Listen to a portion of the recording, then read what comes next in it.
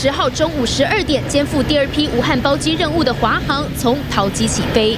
这一波如果能够顺利成型之后，我们当然再演绎下一波啊。那人数大概就是我刚刚提到的这个四百出头而已。被视为两岸互地橄榄枝的重大突破，陈明通用字遣词小心翼翼，尤其二批包机卡关一个多月能成局，可是府院等高层突破了重重关卡。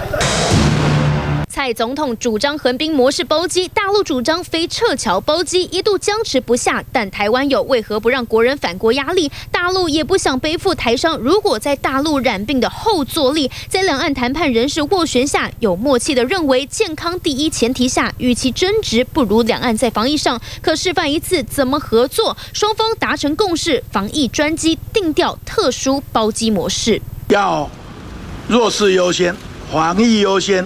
量力而为，持续不断的沟通，现在渐渐有共识。所谓的共识就是各退一步。华航在台湾检疫人员到武汉，接着再送两百三十五名台胞返台，守住横滨模式。大陆派出东航，也在两百三十五名台胞避免撤侨班机。双方里子面子都有了，二度包机接回台胞，健康跟防疫证明可以是政治以外的沟通语言。记者林中正、李孟昌、重越台北采访报道。